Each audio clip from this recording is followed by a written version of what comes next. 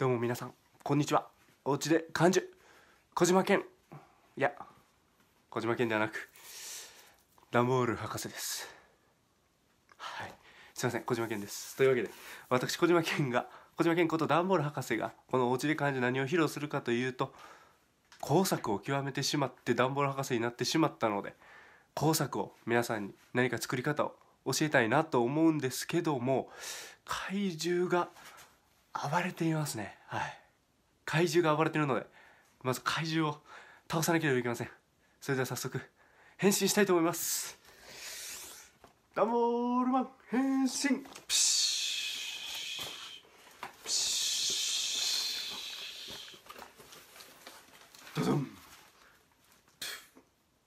ダンボールマン。というわけで私ダンボールマンに変身しました。早速怪獣を倒したいと思うんで思うんですが。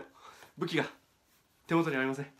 というわけで今日は皆さんに武器の作り方を教えたいと思います。まずは用意するのは新聞紙。新聞紙を潰しながら細長く潰しながらこうします。すると強靭な武器になります。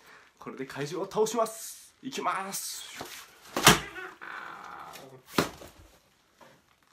こうして今日もダンボールマンの手によって世界は救わ